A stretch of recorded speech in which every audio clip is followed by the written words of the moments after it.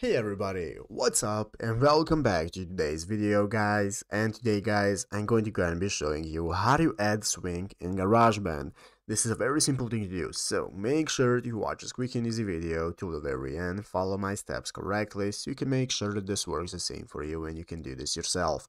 But yeah guys, let's get straight into it. So the first thing you want to do is to go ahead and open up the official GarageBand application on your mobile phone if you've not already. If you do not have the application, just go to the App Store and download it and after opening it up, you'll be greeted by this main page right here, which is the home page where you can find all the instruments you have and you have your audio recorder as well and so on.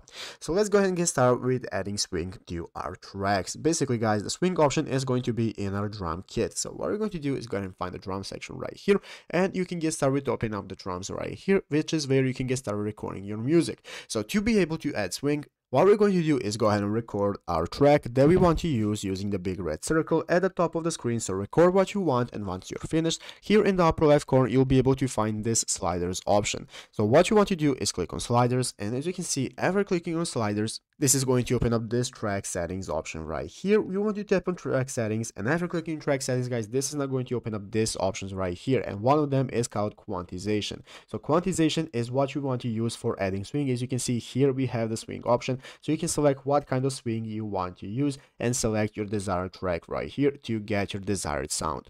But yeah guys, basically that is how to do it. So I hope this video was helpful. If it was, make sure to leave a like, subscribe to the channel. So you guys thanks for watching, take care and bye.